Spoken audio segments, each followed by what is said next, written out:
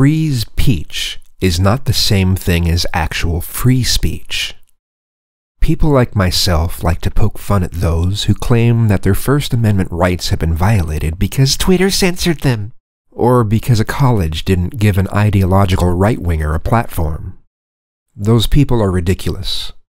Those people are often either willfully ignorant or they're so ideological that they're oblivious to anything else.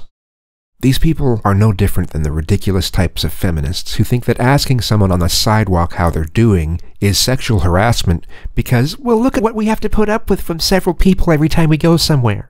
You see, those of you saying, my freedom of speech, over what companies are doing have been crying wolf. You've been ruining it for the times when there are actual violations of your freedom of speech. You see, now that there really is something awful that's happened, nobody's going to listen to you when you repeat the same things you always have whenever someone who shares your views gets censored on a social media platform. Sadly, you've done this to yourselves. Congratulations.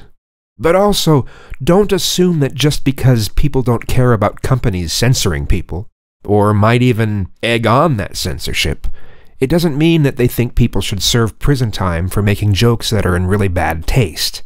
If you do conflate everyone that way, you will absolutely be contributing to the polarization that's tearing everything apart.